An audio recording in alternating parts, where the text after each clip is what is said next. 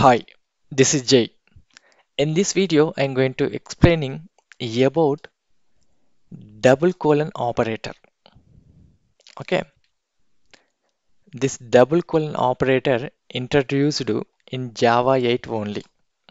Okay, see, previously we are used lambda expressions. That lambda expressions referring to a method.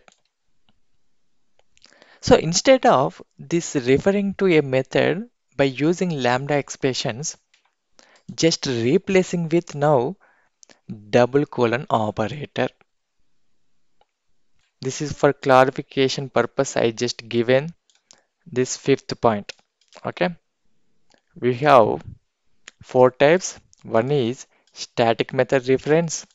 Second one is instance method reference. Third one is constructor reference.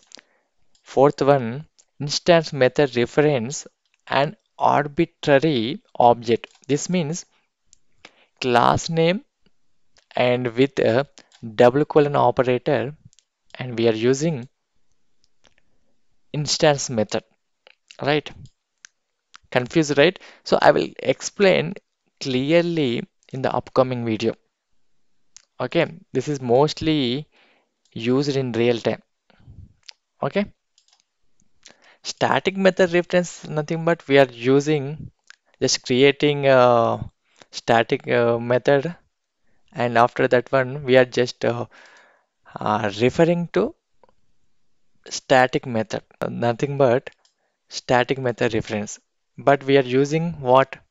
Double colon operator for referring static method right so how will you use static method reference and instance method reference, constructor reference, and everything I will explain in the upcoming video.